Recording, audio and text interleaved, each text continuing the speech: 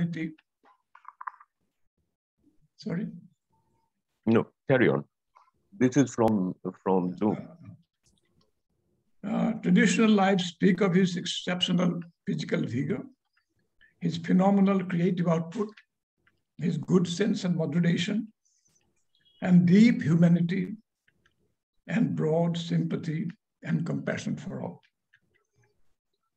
Though after decades of uncertainty and insecurity and wanderings for suitable conditions for his work, he found peace and security under the protection of King Naranarayana of Kuch Bihar. But his mission later found fertile ground in Assam proper, the Brahmaputra Valley, thanks to the effort and sacrifice of his devotees after him. At present, there are only three or four satras in Kuch Bihar. Satras are centers of religious, Vaishnava religion and culture, and more than 800 satras in the Brahmaputra, the rest of the Brahmaputra Valley. While undoubtedly an offshoot, the tremendous bhakti movement that swept the entire country right through the Middle Ages. His religion had some unique characteristics, his sect or creed. It aroused from stagnation the common people who had been paralyzed by the benumbing oppression of Brahminical Hinduism, particularly downtrodden lower castes and women, victims of casteism and patriarchy. You know, we are certainly exposed to and influenced by the surging waves of the doctrinal, intellectual, and cultural influence of the Bhakti movement. He brought his unique powers to powers to synthesize these elements with elements from Assamese folk culture as well as products of his vast erudition in many branches of knowledge and arts. Besides, he gave a rich, colorful, cultural turn to the practice of devotion. Congregational chanting of stories of God's miracles and grace, devotional songs called Borgit, dance dramas with dialogue called Bhavna, and conduct of daily life. His wide erudition in more, many different fields of learning and arts also must have helped. Together, these stories in verse, daily sung in common prayer halls called Namghor, had been gathered during his lifetime into a book called Kirtan. It is the stories of kirtan that are chanted daily in chorus to set tunes accompanied by music, musical instruments. Shankaradev's rendering of stories of the Bhagavata Purana, the main vehicle for inculcation of bhakti in his creed, embellish the original stories with vivid poetic and dramatic touches to make them more accessible to the devotees. The dance dramas called Bhavna use a loftier idiom with sprinkling of Maithili to give an impression of sublimity, though there are also episodes of comic relief. Remarkably, throughout the Middle Ages in India, his dramas alone seem to have the seem to have this distinction of using a racy prose dialogue. as other forms elsewhere depended on narrative, narration, and elaborate miming, and so on. Such bhavanas are still performed annually during the period of rest from labor in the fields throughout the countryside. But historically, it had been the satras or Vaishnava monasteries that were nerve centers of Vaishnava piety and culture. With traditionally trained musicians known, known as Gayon and Bayon, who trained the novices and were actually the final arbiters of the standards to be followed in performances at Namgars under numerous satras and uh, Borgits on the devotional songs set to specific ragas are also taught and rehearsed under their supervision. Now, of course, it is much more common. Incidentally, satras used, their, used to patronize various other arts and crafts, such as making boards of paper from barks of sachi or aloe copying and illustrating them with polychrome painting, and making fine mats of cane and ivory, and so on. The head of the Satra, known as Satradhikar, was the final authority in assigning these tasks and offices to his disciples and setting standards. Though not, though not actually founded by Shankardev himself, these satras later became the institutional form in which his heritage was preserved and continued for centuries. The satras later branched out into four main groups or sanghatis some more Brahminically inclined, and uh, some more radical from the point of view of practice and belief. Unlike Kabir and Guru Nanak, Shankardev put at the center of his faith principally the Bhagavata Purana, which he refers to as the quintessence of the Vedas.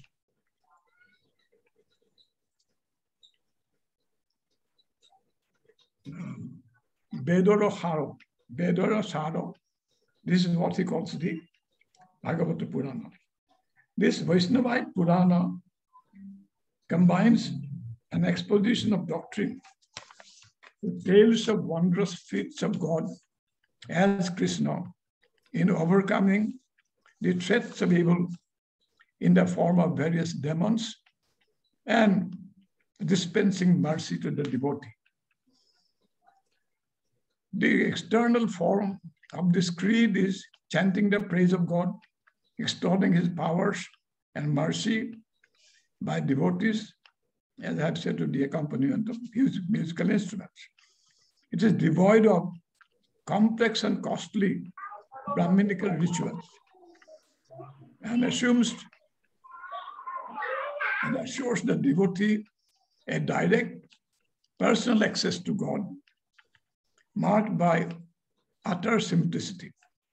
One can pursue this path of devotion while leading a domestic life, and celibacy is not obligatory.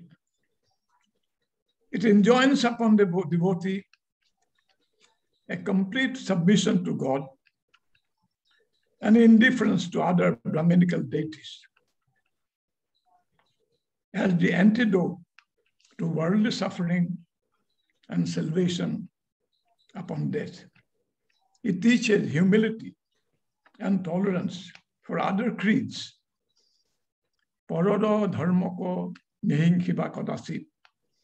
It elevates the moral outlook of devotees by exhorting the devotee to become a true bhakat and look upon all created beings as part of God, hence with respect, to be treated with respect and empathy.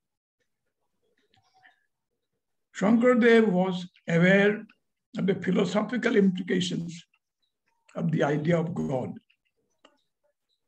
of whom Krishna was a human incarnation.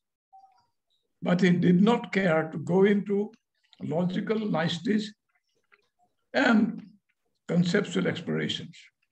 God was one and indivisible. All creatures are parts of Him, but they wrongly consider themselves to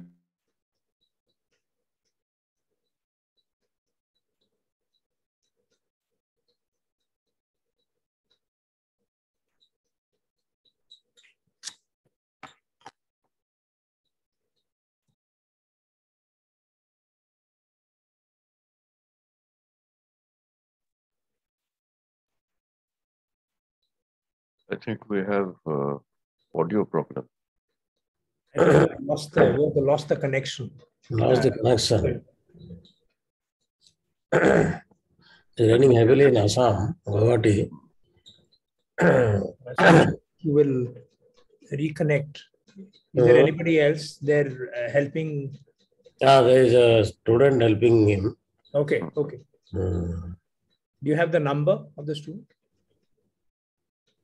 I have, yeah. If you can call the student to say that, look, uh, this is there to, we know that. uh, Hello, Vishnu. Suchita, how are you? I'm all right. Nice to see you after a long time. Yes. I met uh, Partho last night. Yes, yes. Partho is also here, I think. Yes, yes. Yeah, Partho. Is here. Where, uh, uh, where, where, where did you meet him? Here, Partho is in New York. Oh, you okay. Pathada, you, uh, I arrived just two days ago. and Oh, here two weeks. So oh, good, good. Yeah, yeah. May I continue, please? Yeah. Yeah, sure. Though building upon the legacy of the Vaishnavite form of Brahminical Hinduism, he departs from it radically to loosen the trammels of caste and mentally liberate the devotees from the demeaning sense of inferiority and bondage through the path of devotion. Traditionally, Shudras were regarded as destined to the ignobility of their lives, produced by earlier sinful births. That was the Brahminical theory. But Shankardev says, even murmuring the name of Hari, God, can uh, cleanse in an instant sins accumulated by crores, millions of previous births. It just had a liberating effort, effect on the devotee from despised for the despised lower status of the caste system. It had been a revolutionary step in an age and society under the pall of casteist inequality and despair. Thus, the common man, harried and tortured by the burden of feudal oppression, compulsory labor, and caste oppression, was initiated into an enlarging vision of his own place in an inexhaustibly enlarging vision of his own place in an inexhaustibly varied and inexpressibly large universe, Ananta Koti Brahmanda. He can conceive and articulate a sense of his own destiny against this background and look forward to a life of serenity and ultimate transcendence of fate and face calamities of life in peace and some fortitude. Thus endowed with a spiritual dignity and nobility, he could now face the world with some courage and spunk. However, by some quirk of history, as such teachings were not accompanied by actual social revolution, it helped Brahminical caste rules to return and were in fact reinforced by many satras. One satra stuck to a much more radical liberal view of caste, the famous Moamoria, Moamoria Satra. And it was its devotees from lower orders of society who were provoked by the ruthless Ahom oppression to a storm of revolt and bring that mighty monarchy to its knees. By that time, the Ahom monarchy had joined hands with Brahminical orthodoxy to enforce the caste and Brahminical practices with unprecedented ferocity. The Moamorias even established their own rule, though they apparently had not extended their support base to other castes and communities. Following the restoration of the monarchy with British help, uh, to some extent of Brahminical orthodoxy too, Satras stagnated and got loose from Shankardev's original liberating vision. The census reports of 1891, 1901, etc., show rigid caste practices in the countryside with heads of monasteries enforcing them. With the spread of education and some secular influence under the British, the backward castes could no longer bear the affront, and certain leaders, along with some prominent liberal Vaishnavite gurus, formed the Srimanta Shankardev Sangha or Shankar Sangha, which expounded its influence and the, expanded its influence at the cost of the uh, socialist stagnant satras. Its biennial sessions draw crowds as huge as 5 lakhs taking part in its activities in a most disciplined manner. We, however, conclude with a glimpse of Shankaradev's continuing relevance in modern Assamese society and culture. Lakshminath Bezbarua, the outstanding and seminal cultural figure of the Assamese Renaissance, authored the first biography of Shankardev in modern prose, though he did not dare, did not depart from traditional biographies known as charits. But he harped on continually the central significance of Shankardev and the uh, as the true source of light for the Assamese nationality. It was eventually to be accepted by the Assamese people, though intrinsically there had been some resistance from Brahmanically inclined groups. Uh, this vision was reinforced by the next major cultural icon Assam, Jyoti Prasad Agarwal, who gave a cultural turn to Shankaradev's basically religious vision and modern cultural turn. Then Vishnu Rabha, the idol of succeeding generation, also focused on Shankaradev's Shankardev as the source of strength and unity for the Assamese people. The fountainhead of Assamese culture. Today, these efforts have borne fruit.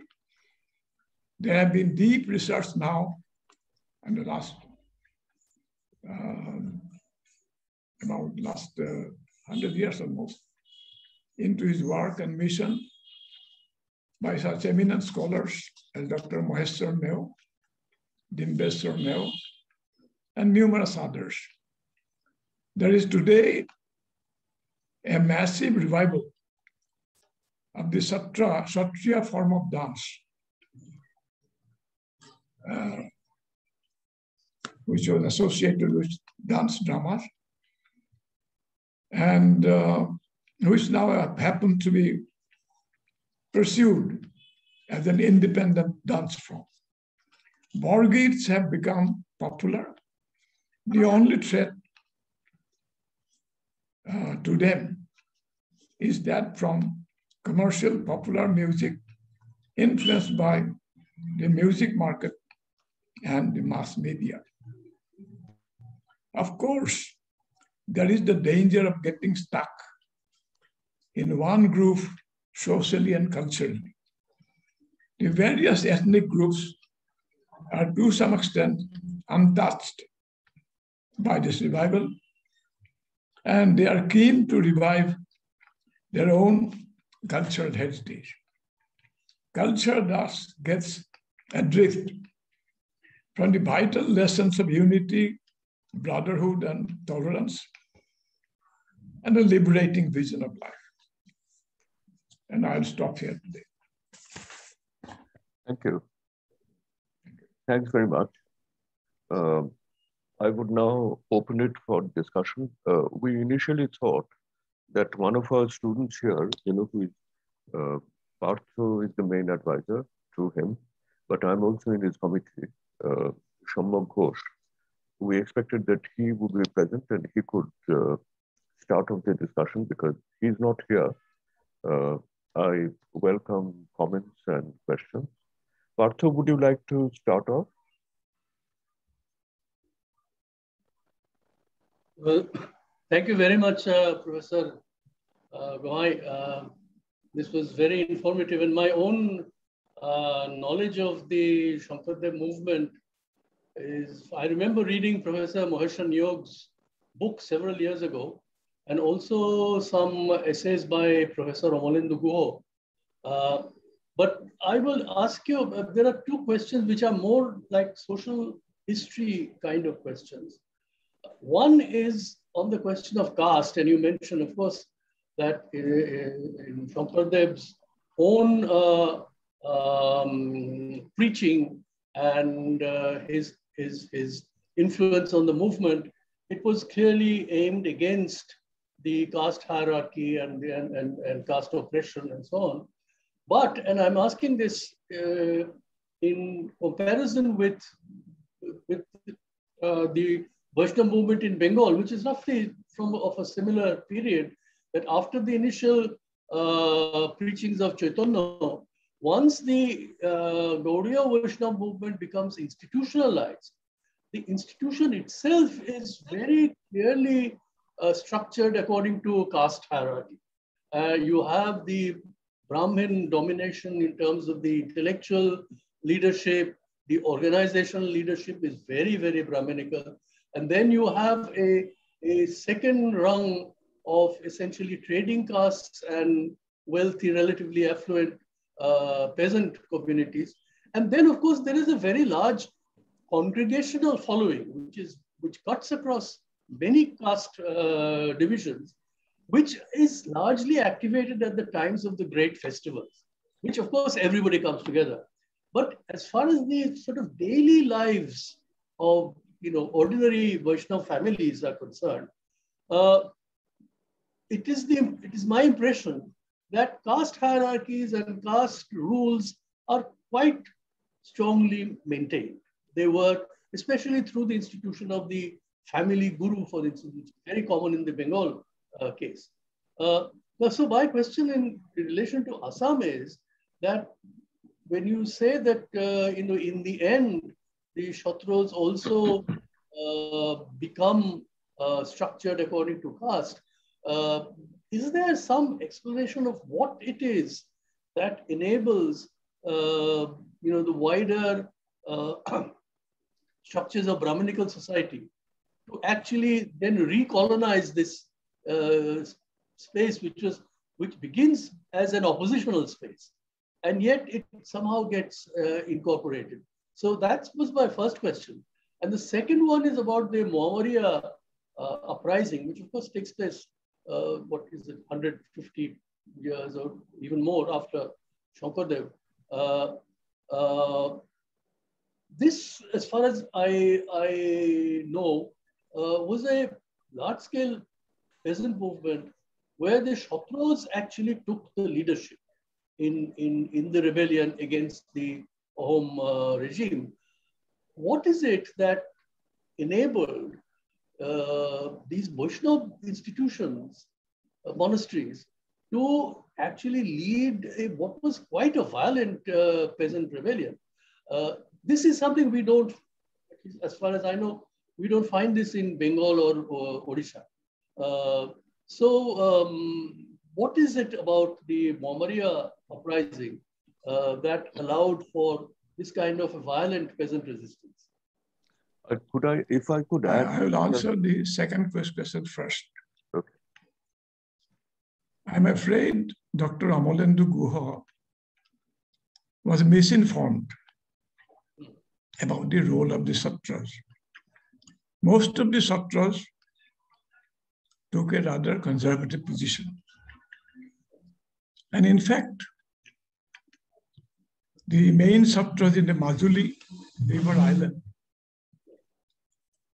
they came to sort of a conflict with the Moamorias. Moamorias attacked them, pillaged their satras, and so put some Vaishnava devotees of those satras to the sword. So it is not, uh, not a fact that all the satras took part in the rebellion. Uh, I don't know how Dr. Guha had formed this opinion, but all my information shows that only the Moamoria Satra remained the, the leading light of the movement. And uh, though it did not actively take part, except the Dekha of the younger, uh, younger head of the monastery, Moamoria Satra, actually it had been the Morans and Motoks. tribals who were relegated to a lower caste by the Brahminical orthodoxy and by the Ahom monarchy, who took the leading role in the rebellion and remained throughout the main force. And also, it must be said that they did not find a wider support base in other communities although most of all of most of them must have been disaffect, disaffected with the increasing feudal burdens imposed by the Ahom monarchy. So uh, Vaishnavas Satras, except Moamoria Satra, did not lead the rebellion as Dr. Guha would have it. And the first question is, of course, more difficult. It seems that the, from the 18th century onwards, there had been a Brahminical restoration all over India. All over India, the liberating bhakti movement seemed to uh, get, uh, seemed to get stuck, and the Brahminism rolled back and overcame them. So that uh, most of the Vaishnavas remain separate sects, even castes. I think some Vaishnavas are also castes in Bengal. Yes. I, if I'm yeah. yes, not yes. wrong. Yes. And they are, uh, low, no, I mean, lower the- rank. Because they are usually of a lower rank. In, in Bengal, lower, there are lower, lower, lower. But there, there's a caste. Jat Vaishnava, which is a separate caste. but usually lower No, no, you see, this is this is the way hegemony culture, hegemony works. The, the, the, the upper caste appropriate Vaishnavism and they declare themselves the superior authority on it. Whereas the true beneficiaries who remained in the lower ranks of society, they got sort of detested and were forced to become a sect by themselves, a caste by themselves. And um, I don't know, I had done some preliminary research on this. I had found that in the 14th, from 13th to 14th century, Muslim ruled, whether the Sultanate in Bengal or the uh, Turkish rulers in Delhi, there had been some kind of a, an urban revolution with cottage industries and traders. You know, uh, suddenly being stimulated into some kind of uh, not only industrial but also cultural activity. So Kabir and Nanak probably had benefited from it. And afterwards, uh, and that had a kind of somewhat loosening effect on feudal feudal ties and had a sort of the individual soul, individual human being was partly liberated for some time. So you had Mirabai revolting against patriarchy in a way, and lower caste people becoming saints like Ravidas. Now, so it was a more humane and uh, challenge to Brahminical ideas of fixed dominance of upper castes. So I think that needs in deeper research now. But that period did see a kind of liberating uh, social environment where this found soil. Otherwise, Kabir could not have expressed such contempt for both Muslim and Hindu Orthodox. So that is my impression, though I, I'm no authority or expert in it. I had an associated question. Uh, it's a kind of follow-up of Partho's first question. Yeah. for anyone who is interested in any kind of, uh, I should, should not say rad, radical, but any kind of emancipatory social change, uh, for him, the question of why the Bhakti movement is not able to loosen up, you know, the hierarchy of caste, I think is a central question. I have a, I have a hypothesis uh, which I wanted to uh, ask you to comment on. You know, it seems to me that uh, when I read, let's say, the Chaitanya Charitamrita or the Sorry? Bengali Chaitanya Charitamrita, Yeah. uh, or any of the Bengali version of texts. To put it very simply, I think they believe that this that caste can be loosened up by an individual deciding to treat people from lower castes more humanely. Which means that you know I individually treat people who are of lower caste, peasants or servants and others, with greater humanity. But the problem with them is that they simply do not have an idea, a modern idea of caste as a structure, which basically means that, you know, my doing whatever I can, I might actually spend my life in being nice to these people, right? It does not actually have any effect on the structural position of those people. So my hypothesis is that until you have the rise of the modern idea of what I would call the plasticity of society. That the social structure itself in which people are embedded, this is something which can be changed by collective action. You know, you cannot, Uh, is- you cannot affect the structure of caste very profound. Now, there are two factors to be taken into account. First of all, uh, Kabir and Nanak. Initially, before caste hierarchy, caste orthodoxy set in, you know, initially they were quite free about it. Kabir said, I don't care for Brahmins or Sudras. Hmm. Does Sudra have a have iron in his blood? And the Brahmin has have gold in his blood? Things like this. Hmm. He says that I don't care for either mullahs in their mosques or Hindu Brahmins in their temples. Hmm. It's quite a radical challenge. Sure. And sometimes, you know, social revolution is preceded by these radical ideas, as you know very well. Hmm. And there are some others also speaking on those lines. But Brahmin, uh, Brahminism survives because of its extraordinary resilience and ability to respond to such challenges. So they try to water it down to, you know, treating Sudras more humanly. Oh. Uh, that had not been the inspiration for Kabir and others. You know.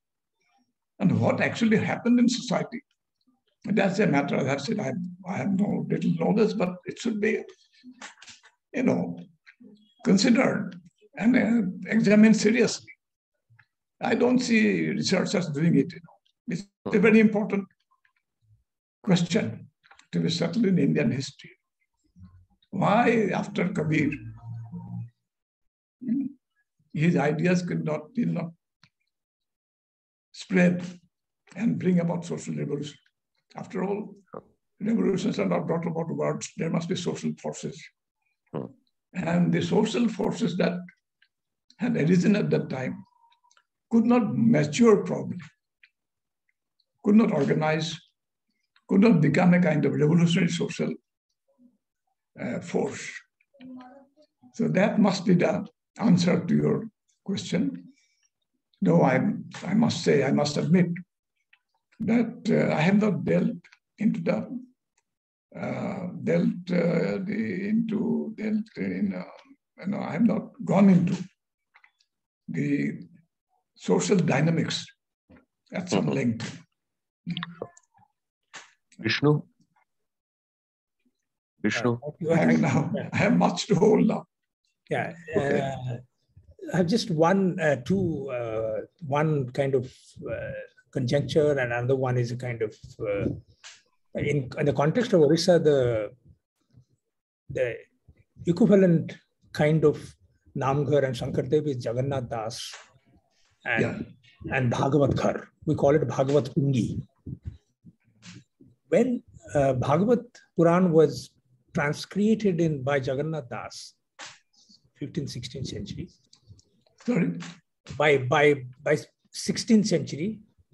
Yeah the, the Brahmins' reaction to that, that you can call it transcreation of Bhagavad Puran by describing it as a Bhagavata of the oil pressure caste.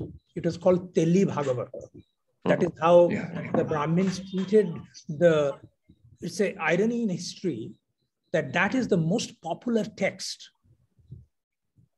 settled in coastal Orissa, but also in the other parts of Orissa, that Bhagavat remains still a very popular text, despite the Brahmanical reaction.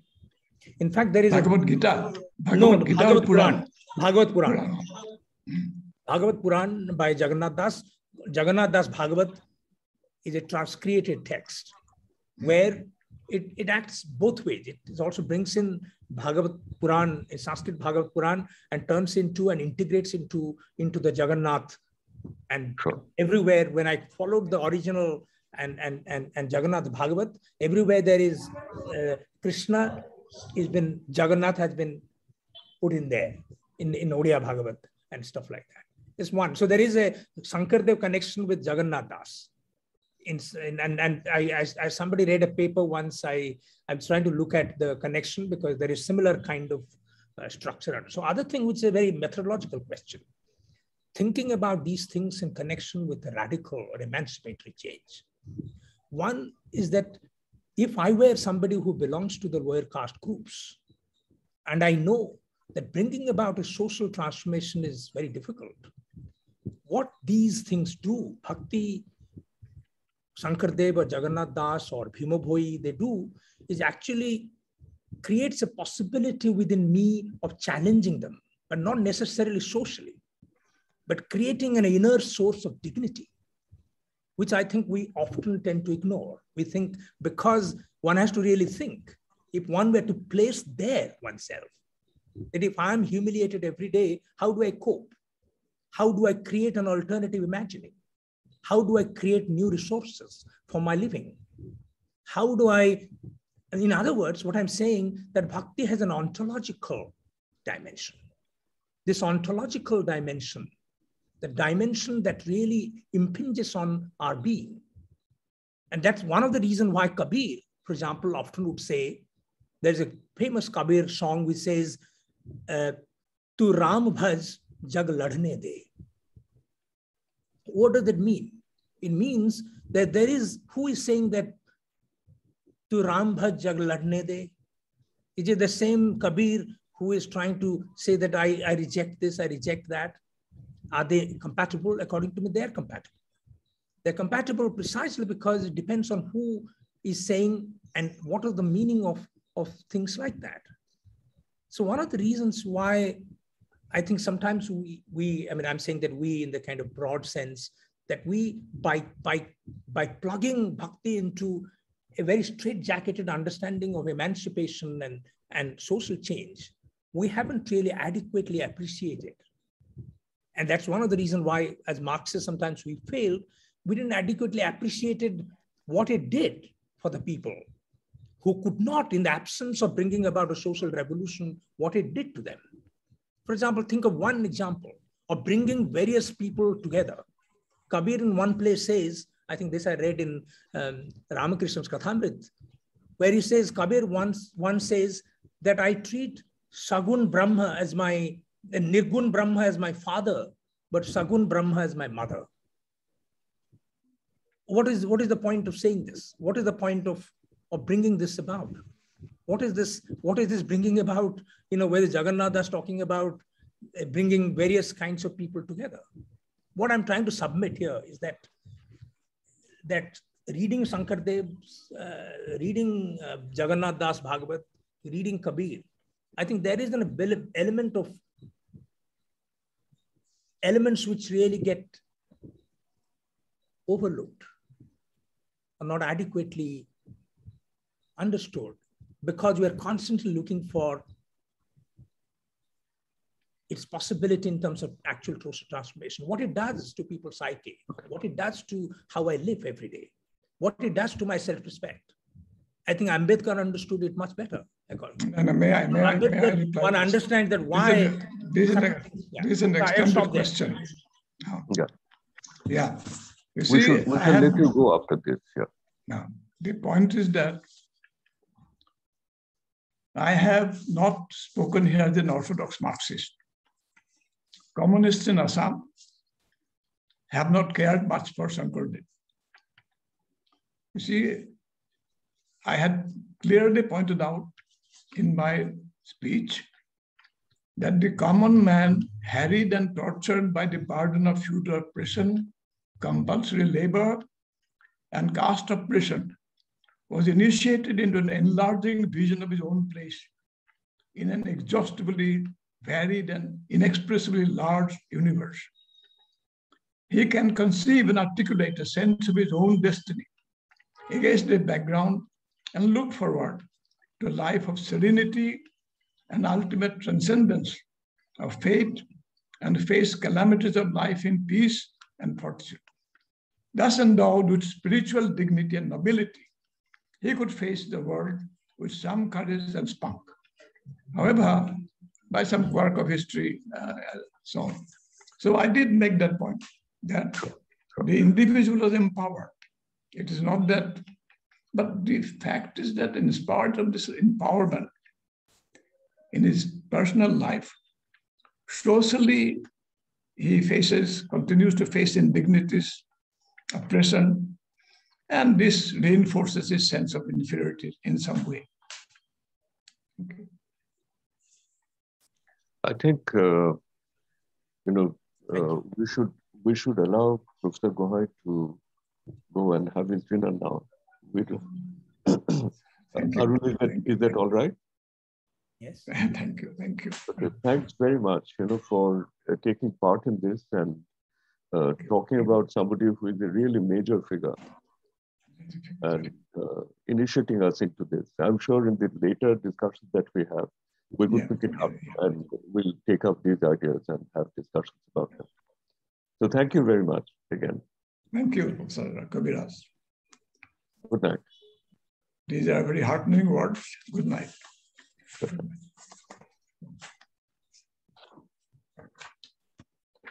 So Arun, should I close now? Yes. Uh, yeah. you can mm, you can close it, but you can give a closing remark. Yeah. Mm-hmm. no closing. Mm. You know, I know very little about this subject. The closing remark just would be that you know it's good that we I think this is very important. You know, this also partly reflects what I was talking to Partho last night. Uh, you know, Partho's new book on truth and uh, the truths and lies of nationalism. The chapter where he talks about what can be a kind of alternative idea of federalism. That is, how do we understand the diversity of regions as a strength rather than a weakness? you know, it's linked in, if you do intellectual history, I think reflected in intellectual history in this way, that we should not, we should alter our conception of India as, uh, you know, a space which is dominated by certain centers, you know, the uh, Central Indian Center and the Bengali Center. And, you know, centers can, uh, might be not geographic, centers can also be historical in the sense that if you think of Akbar's time, Bengal is not dominant in any sense. But after the coming of the British, Bengal gradually becomes dominant and central in that sense. Oh. And I think both spatially and historically, if you want to do real intellectual history about India, I think it's very important to uh, to use uh, an offensive term, you know, to rescue the idea that places like Assam or Odisha, etc., you know, these are either borderlands, which means that, you know, they're peripheral, or they're interstitial. So between, uh, you know, the major focus on Bengal and the major focus on Tamil Nadu, uh, Tamil culture. So Andhra and Odisha is interstitial between them. So the, I, I think it's a very simple idea that people who think they, uh, to use, uh, you know, Mircea Eliade kind of uh, idea, it's a simple idea that you know everybody thinks that where he is and he himself is actually the center of the of the world. So that is the axis of the, of the world, right? So this is an absolutely obvious point, and we forget about that when we do intellectual history in this kind of way. So I think it's very important to uh, revive discussions about these things. So I, I personally would uh, be very happy if we have, let's say, follow-up discussion on Odisha. Uh, maybe on the Sarala Mahabharata uh, again, or another discussion on Shankardev in Assam or some other text or something like that. So that's why, although we got him for a rather short time, uh, I'm very happy that we did. And uh, you know, I think it actually reflects a kind of conceptualization of Indian intellectual history, uh, which is different from the way in which it's standardly done. I'm just wondering, uh, because we are now discussing this Bhakti movement, Western movement spread out from Assam, Bengal, Odisha. Uh, what could be their uh, differential reflection on uh, Bhagavad Puran? And what could be the regional way accounts of caste systems reflected in their writings or in their storytelling. Uh, because the regional variations uh, should be configured, whereas we are simply you know, giving a general account of uh, uh the Rantika, etc. But it is necessary to decode, deconstruct uh, further and uh, argue with regional specificities of their contributions. I think we haven't had uh, in our discussions. I think we should probably ask Mangesh or somebody. Mangesh uh, is here.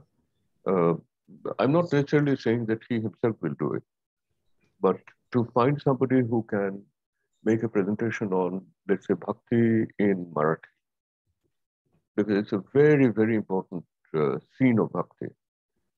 At the same time, you know, we should also guard against this uh, temptation of um, some kind of, you know, general liberal equality of regions that, you know, believe oh. that.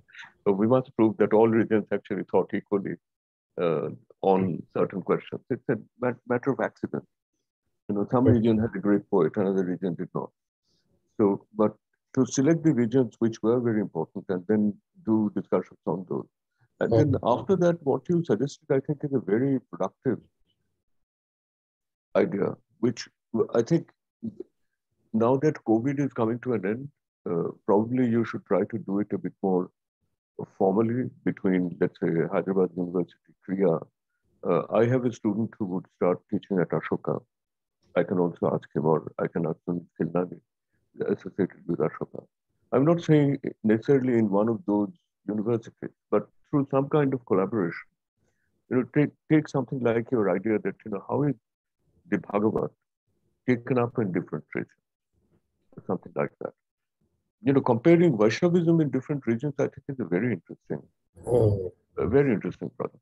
Vishnu, you wanted to say something. Sorry. No, I, I wanted to say that look, often our uh, reflection on history and these kind of processes are divided into national and regional.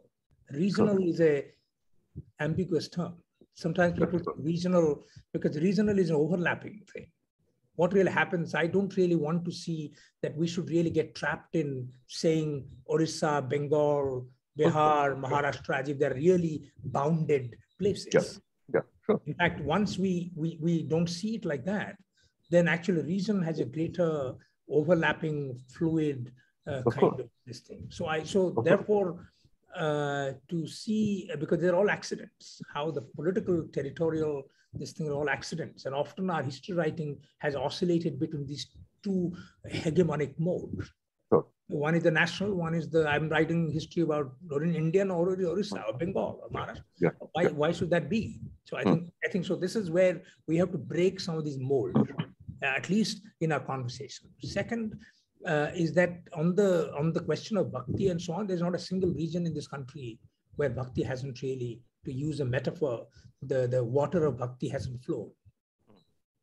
So I think it's wonderful to see that how, you know, the, the, what, what it has done, what, what, what, what is the, what possibility it's created and, and, and, and the, it created certainly an interiority. It has certainly created, you know, one of the reasons it, it hasn't created a revolution. It hasn't created that transformation the social transformation. It has created certain interiority. It has created certain way of thinking about world, about our placement in the, in the world, about ourselves, about bigger metaphysical questions that we often tend to ignore in our kind of conversation. We think, uh, you know, um, if, you, if I read Bhagavad Puran, if I read Shankardev, I, if I bracket the metaphysical question entirely, I'm actually dealing with a very truncated version of these ideas. It's just no, like I, I, I entirely agree. You know, I just wanted to make, make one point in response to what you said, not in refutation of what you said, but in response, because I think, I suspect that that's also what you were saying. Uh, and this is something which underlay even our discussion with Professor Gohain. You know, I feel that there's something which is very obvious uh, in our use of, of uh, concepts, which we use uh, in a taken for granted way. We feel that it doesn't do anything to distort our thinking, but it does you know, the ideas of emancipation, revolution, revolutionary, radical, these all have such encrusted modern meanings into them that, you know, the moment you think of revolutionary in a particular way, which you cannot avoid, then to go with that into the medieval period and ask the question, is this person revolutionary or not, right? That is a, that is a false question. That's an inappropriate question to ask of him. Because if uh, what I'm saying is right, that you know, the plasticity of the social world is a modern idea. And if that idea is not there, then to ask somebody, do you want to change the world that way or not, is not a proper question. Because that is not part of his you know, horizon of expectation. And so therefore the idea that, you know, bringing uh, this kind of bhakti makes it possible for somebody to lead a life, you know, in which he can minimize from his side, you know, the humiliation that is offered from the other, right? With the expectation, if you actually Gandhianize this argument a little bit more, which I think is proper, uh, I see that sometimes in some of the Vaishnava texts in a subtle way. That you know that argument would be that suppose we are thinking of an interaction, simplified interaction between X and Y. Uh, X is a Brahmin and Y is a Dalit. But it is not an accidental, uh, episodic, contingent interaction. They are not meeting uh, at a shop. They are not meeting on the street. They meet every day. Uh, one is a peasant and the other is the landowner or something. Right? So the argument will be that if the Dalit finds a way of standing up with greater dignity, the Brahmin can continue to treat him in the earlier way sometimes. But after some time, the Brahmin would have to modulate his uh, response to the Dalit to the new way in which the Dalit presents himself. So, which might have a kind of modificatory influence on the interaction between them as a kind of social structural activity. I think that is probably the expectation behind this. But at the same time, it is not something which is linked to the idea of changing the social structure. So I think there are enormous possibilities of this. And the other thing is that you know I can send to you if you want a very famous uh, Sanskrit uh, composition, just about 10, 15 lines, which is supposed to be Bhakti's biography of Bhakti. You know, Bhakti is speaking about herself. And it says that there was a time when I was young, and then I actually Jirnatangata, that is, I became old. And for some reason, it says that I became old in Gujarat. The Gujarat is Jirnatangata. But then now I have come to Vrindavan. And I have become, uh, you know, I've become youth and Sundari again. and again revived. So it's a it's a very famous uh, this thing. So I can send it to you. Yeah, yeah, Shuta, I'll be happy to. You know what I'm saying, Shuta, because our our own preoccupation with social and political questions. For example, Gandhi often would say in explicitly that my objective in life is actually to see God. My objective, so to, to think about human lives in compartmental ways, because our subject matter that we deal with in academic disciplines dictate us to do uh, can do a lot of violence to, to things we do.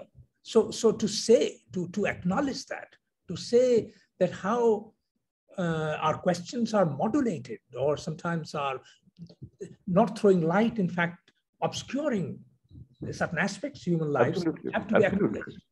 Absolutely. And that's one of the reasons I can never understand uh, uh, Swami Vivekananda nor Ramakrishna by asking only social questions because I cannot understand. Of course, of course. And and and, uh, and they're 19th century thing. I mean, it's not about 16th, 17th century thing. They're equally anachronistic to to to people's ideas in 19th century. It can be in 20th century. You know, that is also a very interesting question, methodologically. Methodologically, in the sense that, you know, either you feel that these fellows are fools, in spite of their great stature, they do not see certain things that we do. If you give up that prejudice, you know, which is silly prejudice on our part, there's no reason why we should be more, uh, you know, humanity should become progressively cleverer than, than the previous generation. So if you abandon that prejudice, I think the most interesting thing is to see that people like Ramakrishna, I think in, it's more pronounced in his case, but also Vivekananda, but more in Ramakrishna. You know, he's very shrewd, very, very shrewd. If you look at the Kathamrita and his conversations, particularly with people who are highly educated, very sophisticated in their thinking, uh, they're well trained. So he picks on those people as his adversary, you know, and then engages in a conversation where he has the extraordinary ability of asking two or three questions to those people. And because they're, they themselves are very intelligent, you know, this modernists, they become completely deflated. You know, it's like pricking a balloon. The man who uh, who wrote down Kathamrita, he said something, he recorded something which is like that, you know, which I found extraordinary. Uh, he said that uh, when I got to know him, the second day when I went to him, Ramakrishna said, uh, ask questions about me. So are you married? So he said, yes, I'm married. Yes, and yes. he asked a question about his wife. And this man, Sri Ma, who writes the Kathamrita, he says, I also said apologetically that she's a very good woman, but organ. You know, she, she is not very educated or whatever. But the term he used, you know, fatally in conversation with Ramakrishna was, uh, I don't, I forget what the first characterization was, that she's a very yes, ethically yes. good woman, yeah. but organ, right? And Ramakrishna simply asked him a question after that. He doesn't even give a proper propositional answer. He says, Oh, Tumi Buji Vishon Gandhi. Mm-hmm. Just that question. You know, yeah, Tumi Buji, Tumi Buji Vishon Gandhi. And he didn't pursue that at all. And Srimad says that, you know, he left it at that. I got into my coach and it took me some time to drive back to Kolkata. And that question began to ring in my mind that, you know, and I started thinking, what have I done? You know, I've been in front of this man who is a big man, great or not, he doesn't know yet. So he said that I'll give him the benefit of doubt. So he's a big man. And I said something which is really stupid. I shouldn't have done that. How could I say that, you know, she's a man? And yeah, yeah, it right, implies right. it implies that I'm a big man. And so I must get out of it. And then so he recounts his own process of this deflation. Yes, yes. And the interest, but I'll come back to Vishnu's point. I think it's a very important point. You know, Ramakrishna could not have not known that he's using a form of thinking, you know, religious wisdom, whatever you want to call it, a form of thinking which is not the form of thinking of that time. You know, historically, it comes from elsewhere, from an earlier time. It's not given much prestige. So he is actually deliberately taking that up and he is querulously, you know, combatively uh, telling these people that you come with a certain apparatus of knowledge, I come with a different apparatus of knowledge, right? But I'll take you on and let us come into some kind of a conversation because that is the conversation of history that is going on. So he doesn't put it in our historical kind of language, but I think in Ramakrishna particularly, what is historical sense? Historical sense is that you're living at a time where deep transformations are going on. And if there's a deep transformation going on, there would be two sides. You know, the older side and the newer side. And historical sense is an acute sense of the difference between these two sides. You're doing something with it. You might you might side with the new, you might side with the old or whatever. But the acute sense of that difference. And that in your own personal life, you can do something with this to make your own life meaningful. You know, that is historical sense to me. And so to say that these people have no sense of history is a totally stupid way of you know, getting into it. So I think it's a big question, a very, very important question. But the bhakti thing also I think is very interesting. You know, we can do it in two ways. We can do it as bhakti, as the variations of bhakti.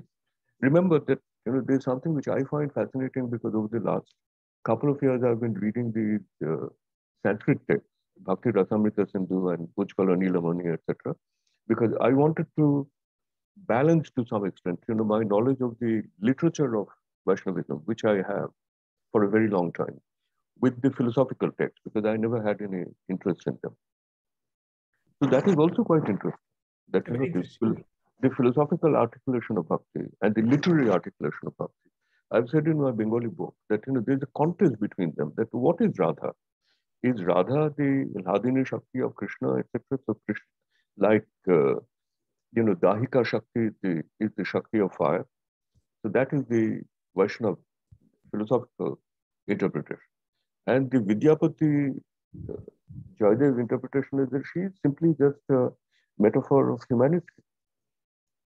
And so there's a big tussle between these two, and I think you know the poets win.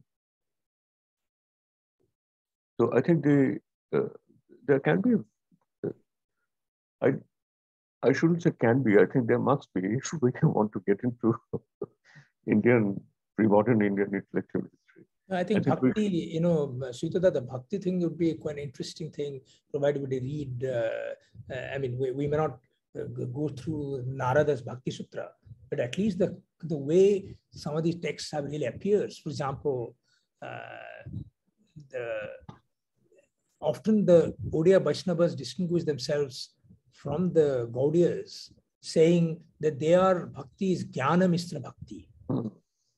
Now, now there is what is the Jnana Misra Bhakti? Because there is a old tradition where the bhakti and jnanas are seen as two distinct. Of course, of course. Of course, you, we know that in, in, in uh, we know that in, in the writings of Sri Ramakrishna, whether it is Bhagavan Ramana, Maharshi, you'll find that the jnana and bhakti are really people are trying to put them together. You know, sometimes the people say uh, uh, bhakti is jnana mata. You know, the very various ways in which you will find. Sure.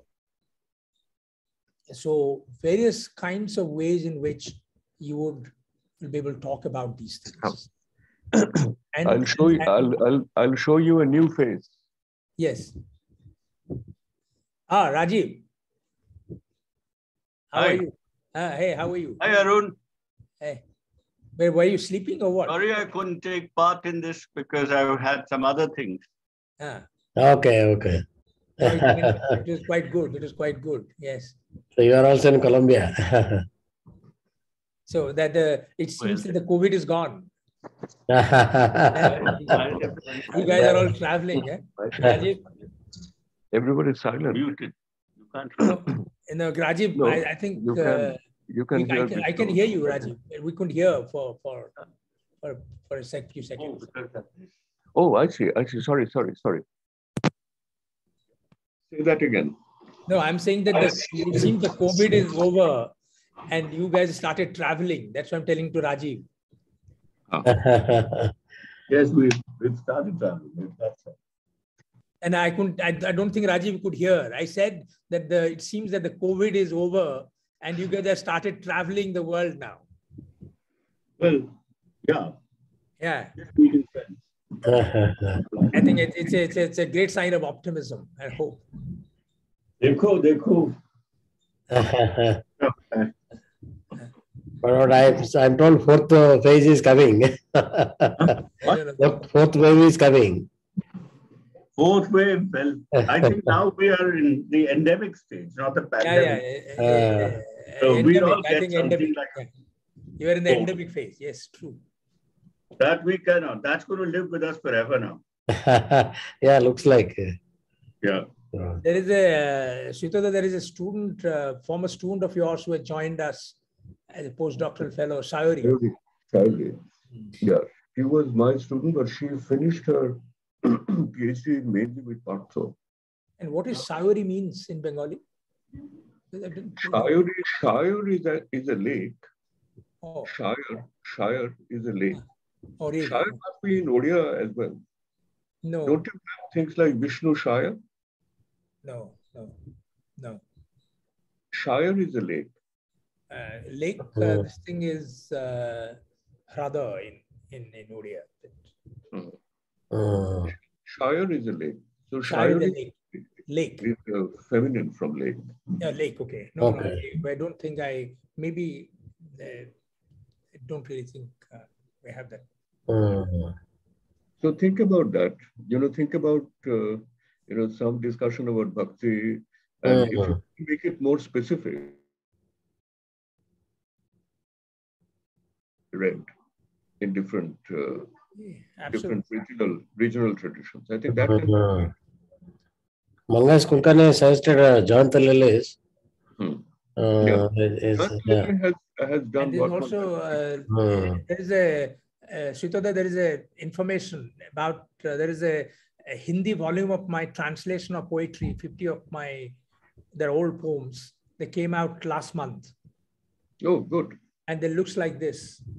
It's oh, called Both or Arm. Very good. I'll also show you something. Buddha and Mango. You, uh, you must have seen Partho's book. No, no, I haven't seen. So, would you show that uh, this thing, the truth and lies of nationalism? I'll show you. When when when did it come out? He gave the copy to Rajiv last night. When I'll, when did it come out? It came out, I think, about two months back, two three months. but somehow I haven't seen it. No. I'll show uh, it to you. Arun, have you seen it?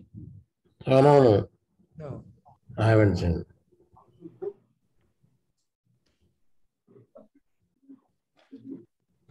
It must be. Uh, I think the at least I haven't seen any notice of that at all.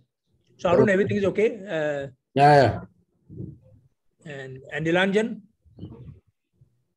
Nilanjan. Yes, sir. How are you? All right. How are you? Uh, I remember you. How are you doing? Yes, sir. I too remember you. yeah, yeah. Good. I'm very happy to see you. Yes, sir. So actually, I had went to Guwahati to attend the IPSA seminar. Uh-huh. So I'm back back from there now in Siliguri. Oh, really? Oh, very good. Excellent. So Arun, you're doing all right? Yeah, fine. It is OUP and Orient Black Swan. OUP and Orient Black Swan. Uh, and this is my book. Oh, good. Um, Marx, oh, fantastic. Marx O. Marx O Swargyer Sandhan. Oh, Satyer Sandhan. Okay. Okay. Okay. Um, right. I've got several books in my head. Uh, they are not coming out. अभी आएगा नहीं. ये लोग किताबें निकाल रहे हैं हम लोग किताबें पढ़ के जी लेंगे हमको निकालने की ज़रूरत क्या है? थोड़ा आराम करेंगे। आप लोग जो लोग लिखते हैं कुछ पढ़ने के लिए भी लोग होना चाहिए कि नहीं? Rajiv. So you know they're आप लोग आप लोग लिखिए हम तो पढ़ने के लिए हैं। हाँ और ये लोग ग्रीडी है। मैं मैंने अपनी फैकल्टी फ्रेंड्स हमारा सीएसडीएस ग्रुप था हाँ. उसमें बहुत twenty books have come out in last two three years I have just written a foreword to a book I wrote to them on the आप लोग किताब भी लिखिए हम इससे जी लेंगे। एक छोटा सा So Satyar Sandhan is that what is it's about truth, uh, What is the? No, it is Swargyer Sandhan. Swargyer, Swargyer Sandhan. Oh, Swargyer Sandhan. Okay, okay. Uh, one uh, he, uh, we discussed earlier, no? Yeah, yeah, yeah, absolutely. Uh, the title of his paper article was Marxism and the Search for Paradise. Uh, I think we Marx. read we read a part of it. I think Nilanjan uh, read it out to us, Arun and me. Uh, Nilanjan, is it true? Book is slightly yes, different. The yeah. title of the book is Marx and the Search for Paradise. Uh, and who has published this in Bengal? This is published by Anushtup. Anushtup, Anushtup yeah, yeah. yeah, yeah.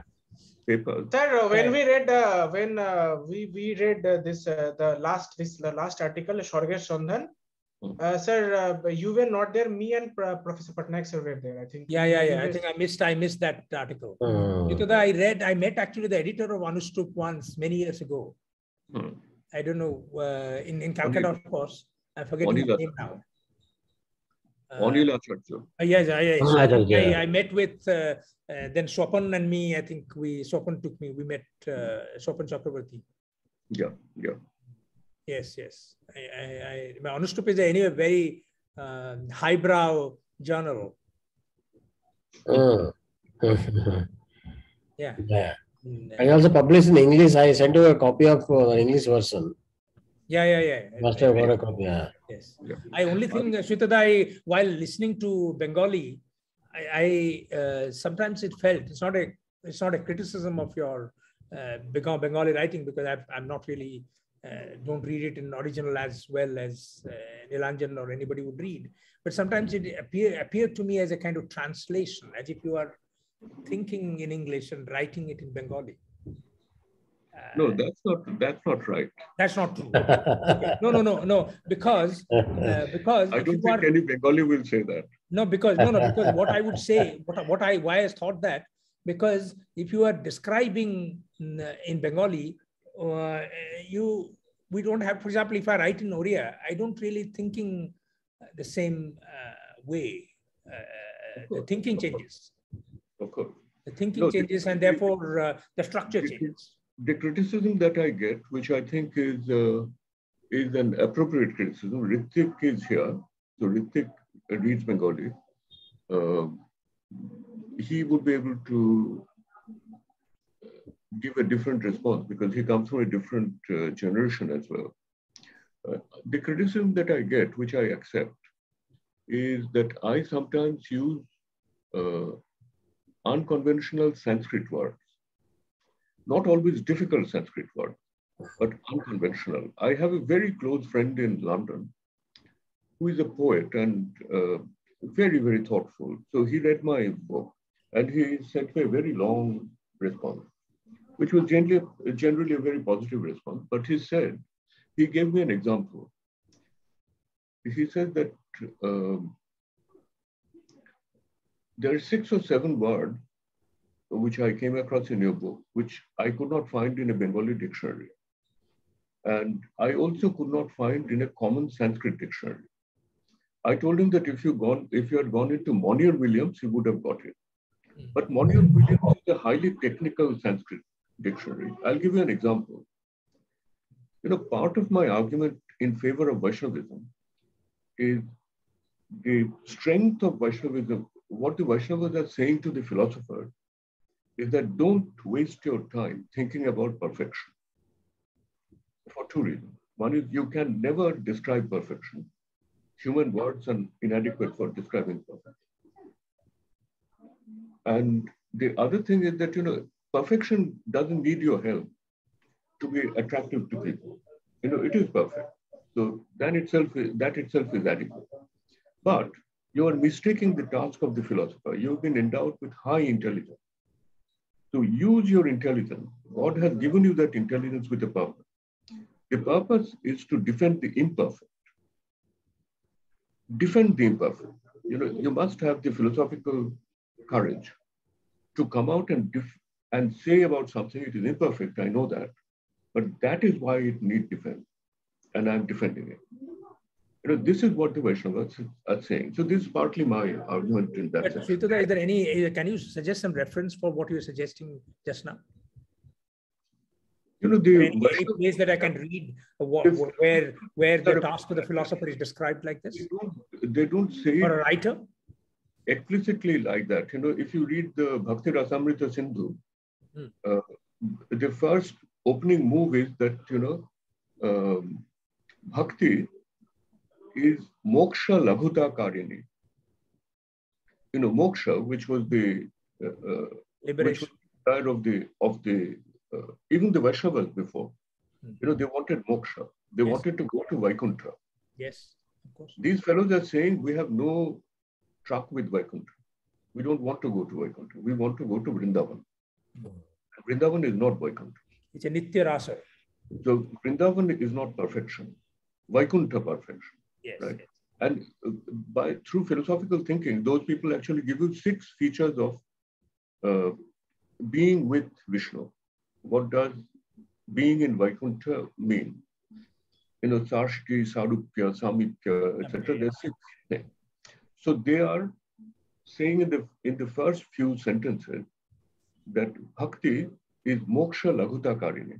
That is, if you understand bhakti, moksha would lose its charm for you. Mm-hmm. Right? Yes. So, uh, in, you know, their high Sanskrit reflection is about this, but not in my language. But I'll give you an example of the language thing. So I used the term arabdha. You know, arabdha. Dadha, a, a is non. Yes. Right? Rabdha is perfect. Yes. That is, it comes from the verb, which you also use for ra, radha, you know, aradhana, etc that uh, you know that which is uh, which is deserving of you know complete admiration. Aradhya. Rabdha. Radha. Rabdha. Yes. yes. Rabdha is perfect. And I use the term Aradha. Yeah, Aradhya is a term that we use in as well. Imperfect. Uh. Right. Now, he said that I do not want you to change that sentence. He said that I've never come across this word, aratha. But he said that the way you develop your argument, is completely clear to me that what you mean by that is imperfect, although I think in brackets I have put in the English word imperfect. So this is a criticism that I face quite often. A lot of people say that, you know, you use too much of Sanskrit. I'm not criticizing uh, I'm not criticizing you. I'm just trying to understand uh, No, no, no. Even the, the, at all because I, I because this is a challenge. This is a challenge for bilingual um, intelligentsia, and particularly without- bilingual intelligentsia. That without to- how can you how can you improve? yeah, yeah. The other thing is that the in Odia the Aradhya has the opposite meaning. In Odia, this is called Aradhya, which means that something is worth worshipping. Worth worshipping, yeah, exactly. Yeah. That is a different that's a different spelling. Yeah, that's a different spelling. It must be uh, R double dha. We call it double dha. Hmm.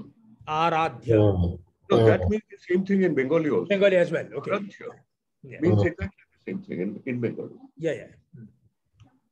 So So because I, I, was trying to figure it out because the argument Sritada was that I once was talking to Partha as well, that when we write as bilingual, because when I write poetry and my do my English um,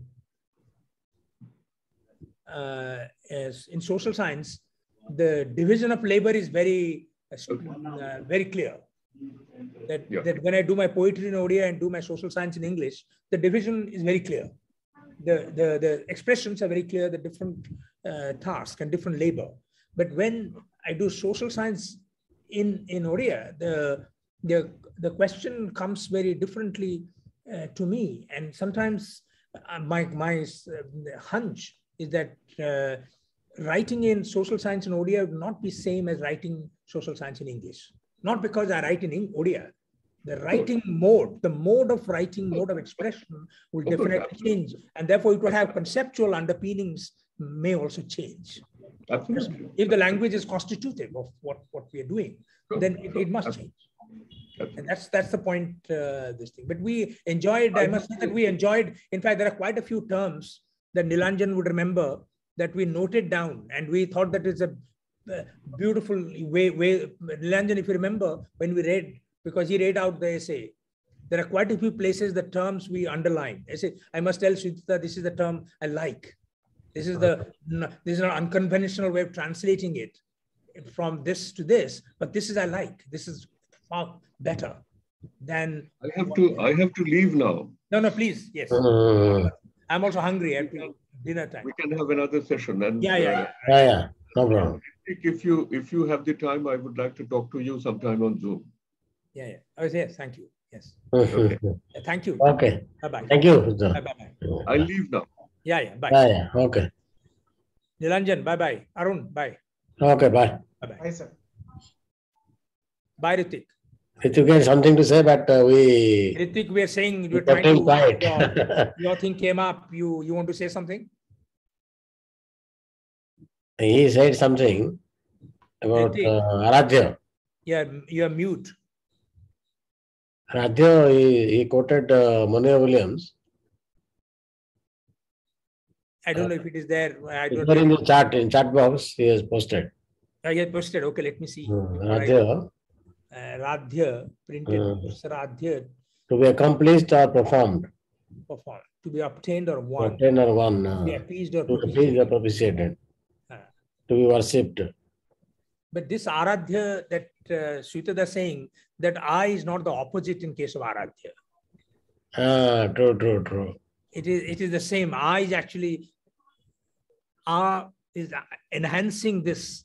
Ah, which is to be exactly. appreciated. Worthy, worthy of Yeah, worship. yeah, yeah. It is it is not uh, it is not But opposite. I don't know uh, what, uh, how, uh, how- what exactly alphabets he uses, you have to see.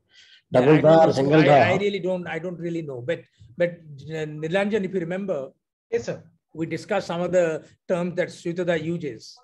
Yes, some of them Mhm. we liked, but some of them we thought that is a kind of mm, pretty, uh, you know, almost writing in English. Mm. Yes, sir. Although he he he doesn't think that, but uh, right. I mean, no, to be worshipped is the same. You see, is the same as Ah. the uh, Radhya meaning is the same as the Aradhya. No, Aradhya means worthy of worshipping, yeah. Yeah, the same here. Yeah, yeah, same here. Yeah. To be worshipped. True, true. So Monier Williams uh, using a different kind of, uh, no, no, no. It is the same. It is the. Same, same, same. It is Radhya and Aradhya, the same meaning. Yeah, same, same. You are right. You are right. I is not the opposite. Sanskrit. This is Sanskrit actually. Yeah, it's Sanskrit. Yeah, it is Sanskrit. Uh, Sanskrit means what uh, we Odia we mean actually. Yeah, yeah, yeah. We also mean so, same thing. Yeah. so, all right. So, uh, you're doing well. I'm happy to. see innovation by by Kaviraj. uh, uh, so he might have innovated. Yeah, yeah, yeah. Hmm. And then uh, let's see the the uh, truth and and lies of nationalism Parthadas book I haven't seen. So uh, yeah. I just bought it. I have to read. Oh, you just bought it. Okay. Who the what OEP India? Who who has published it? Oh, actually. Permanent Black. Huh? Who has published it? In By India? Permanent Black. A permanent black. Okay. Uh. So you're doing all right, Tarun. Everything is okay. Yeah, yeah. Fine. Okay. Nilanjan, so, uh, you are in Hyderabad. Where are you? So uh, Siliguri now. In Siliguri. Okay. Doing field work now. Oh, doing field work. Okay. Uh, so how about you? You are fine. Uh, I'm fine. I have a new responsibility in the university. We have uh, there is an endowed um, Moturi Satyanarayan Center for Advanced Study in Humanities and Social Science in Krea, uh, which has been created out of the endowment of Moturi Satyanarayan family. Uh, Moturi Satyanarayan was a Telugu man who fought hmm. uh, against British mm. 1942, then became the member of the Constituent Assembly. Mm. He's one of the few uh, people in the South who also championed the cause of Hindi and Hindustani. Okay. Along with Telugu. Mm. So Moturi Satyanarayan family, his daughter and son-in-law, mm. has en- endowed an institute at Krea. Mm and the university has installed me as its first director. So congratulations. Uh, so thank you. So that's uh, oh, where uh, we have two postdoctoral fellows. Uh, one is Sayuri, the student mm. Partho and uh, Sudipta. Mm. And another linguist from JNU, a PhD from Center for Languages in, in, in, in JNU, who has mm. done a. PhD on the decaying the, the languages and uh, so it's mm-hmm. like that. So how are you? Uh, otherwise, so that's a new responsibility for the first of April. Mm, okay. okay. So I've just reached the campus. I uh, we will have three more postdoctoral fellows this year. Mm. Mm. And I want to see, uh, you know, Velcheru Narayan Rao, one of the great bilingual intellectual of our country who wrote in Telugu as well as in English. Mm. He has returned from America and now living in near Vijayawada. Mm. I met him in Bangalore mm. years ago before COVID. Uh, he's, he's 88, 89, must be 90, but he's mentally very agile. I really wanted to meet him personally. I met him in Bangalore personally. And I want to really meet him. I want you to invite him to possible to give our inaugural lecture. Mm. Yeah, he'll be right person actually. Yeah, yeah, yeah. he's a fantastic person. Very good. You know, I really want, we want to see Belchin around. I can talk about Telugu, Potana, he's also Potana, the Bhakti. You know, there are a lot of stuff happening in. in, in I'm told he's also Sanskritist. Yeah, he's Sanskritist, but he's a uh, Telugu. Uh, mm. Telugu is no Tamil. He has translated profusely from Telugu to true, English. True. Very good with David Shulman. Narayana Rao and, and Sanjay Subrahmanyam. Yeah, true, true. They have done work together. He's a fantastic uh, this thing. Mm. Oh, yes, come back to India. So, so, our question, Arun, that you know, I therefore no, no, I was not uh, Gohain, Professor Gohain, I was not critiquing. I was actually critiquing our own limitation of asking only certain kinds of questions. Mm. That's why Suito said he agreed. But I think you know, you we are only asking one kind of questions. Mm. And we are our caste locations are determining those questions. Yeah, we have never lived the life of a Dalit or a lower caste person mm. in a oppressive situation. We don't know what it means to acquire mm-hmm. own resources of dignity. Mm. So don't talk about transformation and emancipation and without knowing why so many Raidasis, Dalits have become Raidasi supporters. Why in Punjab there's so many Dalits have their own Gurudwaras. True, true. Why they love Guru Nanak? Why they love their deras? But yet they are their own gurudwaras. the gurudwaras and Mm. and don't think that they are don't reduce to them purely psychological say, social social system think of their what it does to their being Their what imagination. aspirations are Sir, even the even the Ravidasis have now detached from the main body of Sikhism, and they have their Yes. own own Yeah, sacred the- sacred book now. yeah because because they had their gurus you know uh, in guru nanak this thing after the guru they're not supposed to have gurus like the shias in islam Mm. you know shias accept what is the difference between shias and sunnis for Mm. shias the prophets are there prophets are coming Mm. Shias So when, uh, said, no no prophet no prophet after this So when I was in Yes, uh, sir. when I was in BHU, I had because just at the backside of BHU is yes Sir yes Sir yes. Govardhanpur, the birthplace Yes. of Ravidas. Yes, the big f- best big festival happened there every year. So I had the opportunity to uh, go there, not on the because it was very problematic to go on the birth day itself because yes, yes, lakhs because of a lot of people, a lot of uh, and people I from went, uh, abroad, we, they come. uh, me and my friends went uh, three, four days back of that uh, festival. And uh, uh, there were, and what I saw, I understood the power of the Ravidasya community there because I saw it, there, there, there, there are camps set up yes, of almost every state of India. yes, every state From of India, Assam. even abroad, even for abroad. So from The abroad, they were from coming. America, England, you know, Raidasis. And in, interestingly, in the Assam, uh, in the Assam camp, Hmm. what I saw was a picture of Shankar Dev. So, Yes, Hmm. yes, yes, so yes. there is a common connect. Yeah, there's a common Hmm. connect. And the way they serve the food and uh, it's called the like the, the roti they serve Hmm. uh, because it- now there are free langars uh, held at that time and uh, they- it's and every food is referred to as g like Mm. roti is referred to as pasad pasadar ji Mm. and sabzi is called as Huh. sabzi ji Uh, uh, that's really? the respect that yes sir, to the, Huh. they gave to their food and all eat whether nri whether indian rich or poor all will have to eat on the grass they have to sit on the grass eat uh, take the food and Yes. take the food uh, in this manner take the food with two hands for, like uh, uh, Yes. here and they have to take they have to take, take take the food so it was a very uh, nice experience going there and. Darjan, I must tell you my experience of going to Golden Temple in Amritsar. okay sir. In our Odia temple, we extend our right hand and put our left hand sometimes like that. Mm. symbolically the two hands, but Uh. one hand because we don't use the left hand for uh, taking things. Mhm. And so in Guru in Golden Temple, after this thing, I was going to get prasad. The guy was aghast that I'm showing hand like this. He said, not like this. Show it like this. yes sir Yeah. So exactly. So, so he just uh, made sure that I had the correct uh, this thing. And he was not going to give me Mm. halwa.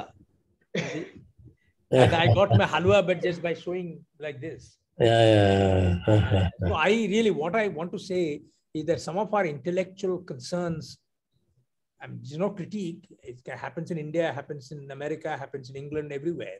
Our intellectual concerns are very narrow. Mm. Despite all our methodological innovation, our intellectual concerns are narrow. Mm. That's one of the reasons why ordinary people don't bother about what we write because it doesn't reflect what they're thinking. And so one thing which I realized this time because uh, after, from Guwahati, we, me and some of my friends, we went to uh, Meghalaya, Cherrapunji and Shillong. Yes. Mm. Uh, and uh, a lot of binaries uh, when we stay in Bengal or in some other parts of India. Violence, peace, Yes. tribal, civilized. Yes. The Khasi people, they're wonderful. Yeah. Yeah. yeah. and, and it, the, the way they, and I myself felt ashamed. I thought that I actually don't have the appropriate behavior which they are showing to me. Hmm, hmm. Tell me, give me an example. So the way, like, I, I can't say about the, the, the body language, the grace which they presented to us. Hmm. Like you need food. And one thing that they don't, don't many of us, they, they don't understand our language. Hmm, They only know the Khasi language. But uh, the driver who was taking us, he told us that uh, even if they don't understand the language through their through various signs and symbols, through their body language, they will like if I want a direction, they will show you the way. Yes. Yes. So the binaries at times that these are hostile people, they will not cooperate, Mm. savage, civilized, No, violent. that's one of the that's one of the reason why you know our uh, uh, that's one of the reason why in Bengal the, the like all politicians leftists also fell despite their genuine honesty of understanding society. because a certain part of society we didn't understand. Our categories are quite deeply flawed. And sir, I think for that, like I realized this time because I haven't traveled much, that we need to travel a lot. Yes. Uh, we need to go to places. We need to understand Yes. people. You should, you should. Yeah, absolutely. Absolutely, you should travel. You know, Shillong you go, you'll find very different, different uh, flavor Yes, sir. True, true. Absolutely. and so on. And then, Okay, Mr. Let us go for yeah, dinner. good night. I'm also hungry. Good night, sir. So thank Yeah. you very much. It is an old time, felt like old time that you, mean Oh, and thank you. is, Yeah, uh, yeah. doing something or you're reading out a Uh, text or something like that. And Okay. sir, uh, just before you leave, uh, just I want to say two, two, three things. Yeah. Uh, that as you said, no, sir, that there are not watertight compartments are really true because uh, where Shankardev was patronized by the king of Kuch Bihar, Yes. Kuch Bihar is presently in Bengal. Yes. So, and there are some such satras in Ku- uh, Kuch Bihar as well. Yes. I'm Hmm. sure. And after many years, someone like there will someone like Panchanan Barma will come who will try to emancipate the Rajbangshis from the uh, the hierarchical structures. Yes. Hmm. Now he will claim that the Sh- Rajbangshis are Kshatriyas. Mhm. Hmm. What will happen is that when he will say that Rajbangshis are Kshatriyas and there will be a Sanskritization process. Hmm. upper caste will say, they, they, told him that, okay, if they are Kshatriyas, then why are you claiming a special place for them? Because they're already in that hierarchy. Yeah. This yeah. is how I feel that things are appropriated. Yeah. You know, there is Sankardev, there's a Sankardev mutt in Puri. They have a they have a particular place in Puri where they do actually Namghar. There's one in Puri. Hmm. And sir, I just remember you told uh, asked me an example. I actually lost my mobile phone in Guwahati. Huh. It somehow slipped. I was on the e-rickshaw. It somehow slipped from my pocket, and when I was, I, I almost felt a heart attack. my Yeah. mobile phone is gone. Hmm. Me and my friend Rakshit, we went back. Uh, it was again in some place called Chandan Nagar in Guwahati. Some Yeah. satra was also there, Huh. And uh, the phone was picked up. Uh, he was some shop, local shopkeeper or something. Something he told me. Uh, he told my friend Rakshit because I didn't have the phone, so Rakshit called him that uh, I am here and here. So uh, yes, the phone is with me. It has uh, it has bumped on the road, and okay, you please come back. So I will stay at this place. And then uh, the the one who was on the, the riding, the e-rickshaw, he he told contacted keep contacted with him in Assamese, and uh, we reached the spot. I got back my mobile phone. I can't imagine this happening in uh, Bengal or in Delhi, even in Hyderabad. No, nothing, nothing will not happen. I'll tell you, my uh, wife uh, lost her phone. It was picked up in the pit of society. It fell off from her this thing. When I call this guy, the guy picks up the phone. Okay, I tell him that look, you can keep the phone, just keep the SIM, give the SIM, keep the SIM somewhere where I can go and pick it up You can keep the phone. And the guy on the other end tells me, क्या तुम हमको बेवकूफ सो- सोचते हो? and then he switched off the phone. Last conversation I had, he picked up- Uh, so he he could have given the SIM, but he no, he was not interested in, you know, because he was thinking that I'm going to catch him and take to police and things like that. uh, Delhi. It, So, it so happened in Delhi, Delhi. so Delhi is basically why he he just wanted the Uh, phone. He true, doesn't true. want to, uh, so this is how what the situation. Yeah, yeah. Hyderabad, same thing I had experienced. Yeah. My first mobile actually fell through. Huh. First, first, first purchase. Next day it fell through. Slipped from my pocket. and you got it. Uh, no, no. The guy I called, uh, he also didn't know how to switch it off. So it was still on. Yeah. Then after some time he switched off. Uh-huh. Switched off and uh, he But I'll tell you another interesting story that happened to my son in Bombay. Hmm. Uh, he was first day or two days in Bombay. He, while coming out of the local train, he finds that his purse is gone, Hmm. credit card, money, and everything's gone. Hmm. And he was in St. Xavier's College then. Hmm. So he went to the college and, and he called me. I said, Look, you cancel your cards and things like that, and so on. So he was thinking he got a, a the, there's, there's a guy who came to, uh, uh, the guy called in his phone. There's Hmm. phone came. He said, Who, who are you? He said, I'm so and so. Have you lost your purse? Hmm. He said, Yes, I have. He said, Where are you? He said, I'm in St. Xavier's College, this thing. Okay, I will come to your gate. You come. Hmm. So he came, Hmm. gave his purse, not only purse. He said, Count your money.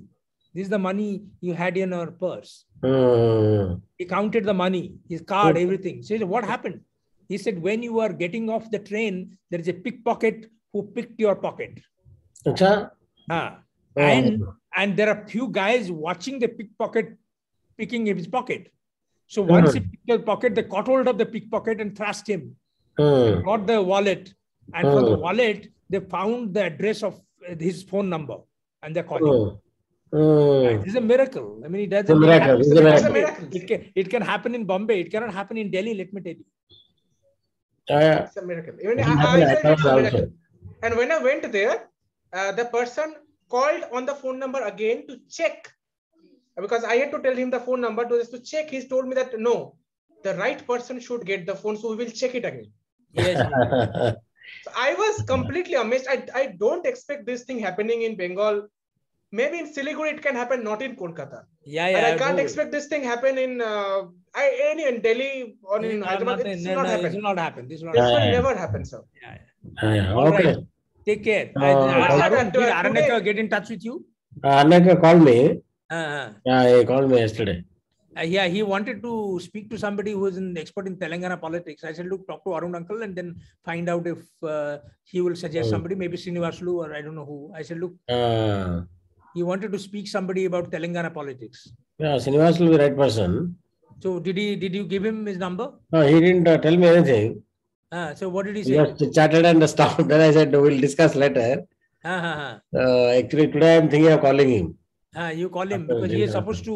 His objective was to find somebody an expert in Telangana politics. Oh, okay. I said you first talk You should have told me that. Uh, Uh, I said first to talk to Arun uncle. ah, you should have told me. I would have and then find out this thing. I said that our common friend Professor Srinivaslu is retired. Ah, this thing, but Arun uncle may also help you to understand the basics of Telangana politics. Just find out first. Ah, he will be. Uh, Srinivas will be the right person. Yeah. Yeah, yeah. So then you talk to him. He may. I will. I'll talk. Call him. Yeah. Yeah. So all right then. Arun, Okay. Nilanjan. Okay. Okay, Ah, sir. ah. Good night. Good night. Good night. Ah, bye. bye. Good night.